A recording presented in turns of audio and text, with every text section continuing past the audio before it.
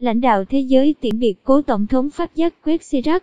Các nhà lãnh đạo thế giới, đương nhiệm và mãn nhiệm, đã tham gia lễ mặc niệm tại lễ tang của cựu Tổng thống Jacques Sirac tổ chức tại Paris ngày 30 tháng 9. Ông Sirac là một nhà lãnh đạo được ghi nhớ trong lòng người dân Pháp, đồng thời ghi dấu trong lòng công chúng quốc tế như là một trong những chính trị gia phản đối cuộc chiến Iraq năm 2003.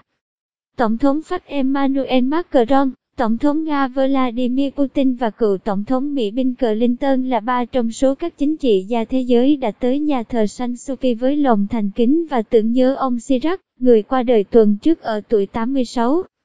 Linh cữu của ông Chirac được phủ quốc kỳ Pháp đặt trước nhà thờ San Sophie sau khi được một đoàn cảnh sát hộ tống đi dọc các con phố tại thủ đô Paris.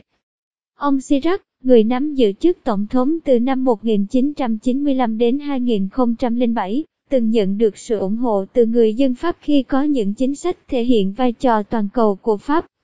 Ông Chirac cũng được nhận xét là một chính trị gia gần gũi với nhân dân cựu tổng thống có tình yêu thương thực sự với con người, ngang bằng nhau dù ông ấy có ngồi tại ghế salon trong điện Elysee hay trong phòng khách của một nông dân. Đức Tổng giám mục Vladimir Senauketit phát biểu tại lễ tang, Trước tang lễ công khai tại nhà thờ, gia đình ông Chirac đã tham gia một buổi lễ riêng tại Hotel de Invalides. Ngoài những nhân vật nổi bật kể trên, lễ tang còn có sự tham dự của Tổng thống Đức Frank Walter Steinmeier, Thủ tướng Liban Saad Hariri, Hoàng tử Anh Edward. Trước đó, ba cựu Tổng thống Pháp Charles de Gaulle, Jospin và Francois Mitterrand khi qua đời đều được tổ chức tang lễ tại nhà thờ Đức Bà.